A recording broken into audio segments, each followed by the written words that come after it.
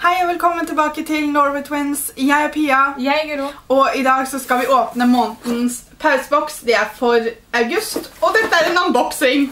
Oh my god, jeg har vært så clever. Oh my Oh! god, Guro! Beef jerky. Da kan vi jo like å begynne med den. Men, Eh, men dette, dette virker som en større boks enn den vi pleier å få. Jeg vet ikke. det er i hvert fall beef eh, jerky med ginger og honey. Altså honning og ingefær. Holy moly! Glutenfri. Guro er veldig glad i beef jerky. Jeg også, for den slags skyld. Men det her er interessant. Snack på turen, snack på turen. Skal vi se. Jeg tar den her, selv om det skulle Guro tatt. Men uh, Uh. det er Urban Fruit, Just Fruit, Gently Baked. Det er ikke noe sukker. Men det her er mango. Og det er 103 kalorier. Det er ikke så gærent. Mangosnacks. Ha med på turen. Det er da eh, vegan og glutenfri.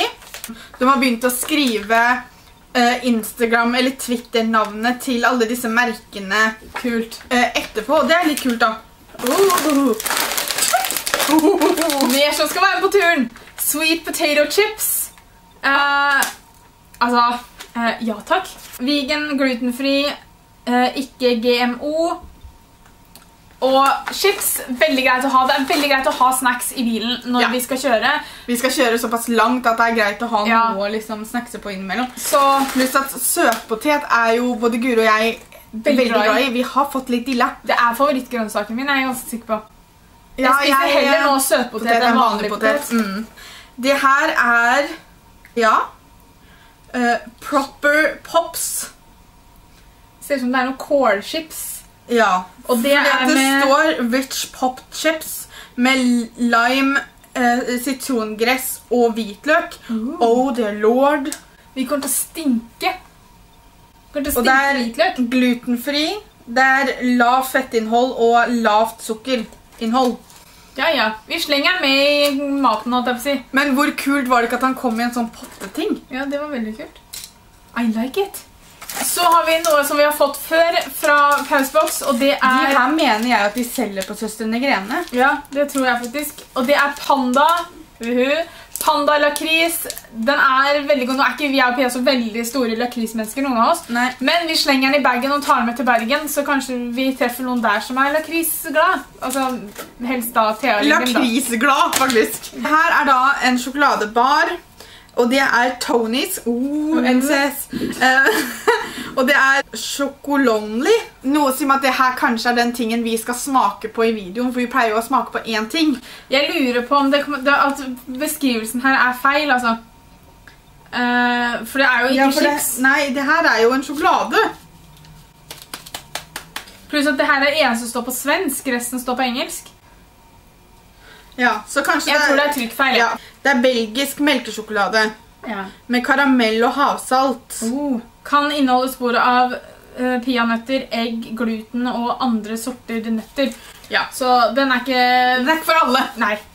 Uh, men den siste tingen var den barn, baren her. Det er en Energize chai Chai, ikke chai. Chia. Pluss vanilje, raw and organic bar. Så det her er en sånn fancy sånn som sikkert er- har en rar farge og sånn. Ja. Men den er vegan, glutenfri og økologisk og rå.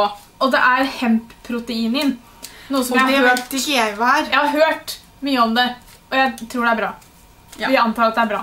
Vi har nå sittet og klødd oss litt i huet, for vi skjønte ikke helt hvorfor vi har fått så stor boks. Men så så vi bakpå den her at de har ettårsjubileum, så da er det jo helt sikkert det at de har liksom gjort boksen litt større for anledningen, da. Ja. Men altså Veldig beste, beste boksen hittil? Eller ja da. Ja da, det tror jeg. Uh, altså, jeg må si det at uh, For det første så var det en utrolig bra bla. Bla. bra blanding av ting. Jeg er veldig spent på de her. Og jeg er veldig spent på beef jerken. Ja, så mye godt som vi kan ta med oss når vi reiser på ferie over i morgen. Og da følg med på vloggene, for da er det jo i vloggene vi da viser fram eh, hva vi syns om dem, og at vi spiser det og sånn. Yep. Så vi får smake på den her, for vi må jo smake på én ting. Yes.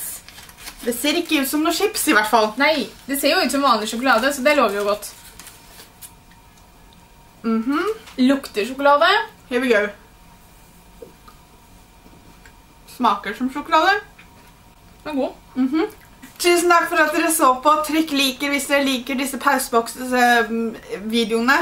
Nå holdt jeg på å si pauseboks-boksene. Men dere kan jo trykke liker hvis dere likte boksen, og det er ikke det. Vi linker informasjonen til pauseboks under her, sånn at dere kan sjekke ut for å få deres egen pauseboks. Vi betaler 263 kroner cirka ut fra kursen for måneden månedlig boksen. Jeg synes ikke det er så veldig ille med tanke på alt det spennende vi får i boksen. Men dere kan jo lese mer om de forskjellige størrelsene og sånne ting som de har ved å trykke på linken under her. Vi ses i morgen med en ny video. Husk å se på vloggene fra når vi er ute og reiser, og så snakkes vi. Ha det!